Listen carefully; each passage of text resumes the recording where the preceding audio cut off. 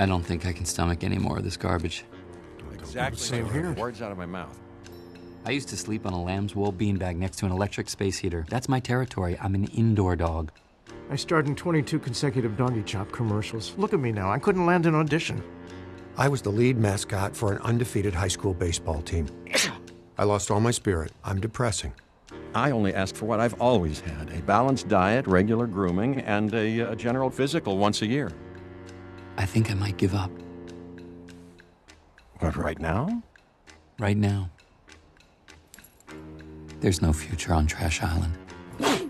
You heard the rumor, right? About Buster? Not What- sure. what can you remind Who's Buster? Uh, my brother from another litter. What happened to him? Suicided. Hanged himself by his own leash. Oh boy. I want my master.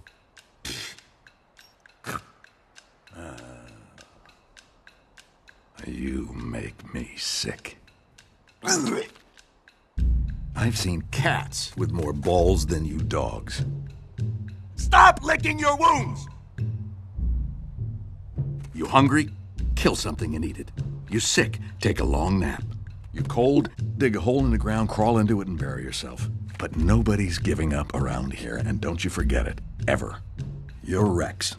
You're king. You're duke. You're boss.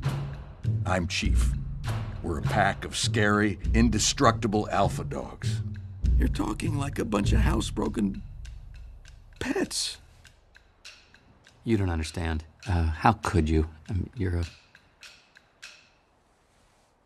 Go ahead, say it. I'm a stray, yeah.